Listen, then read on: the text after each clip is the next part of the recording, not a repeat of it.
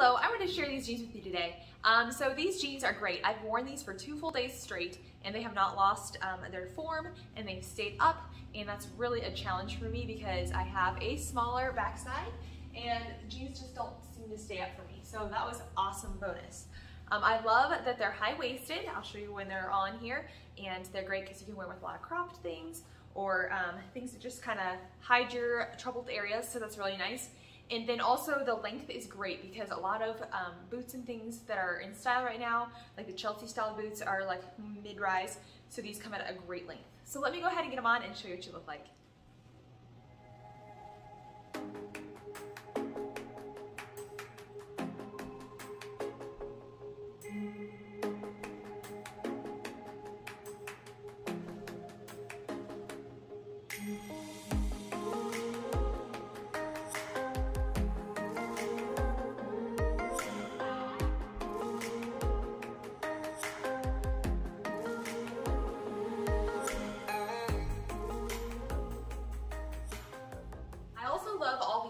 There's five different pockets here, which is great.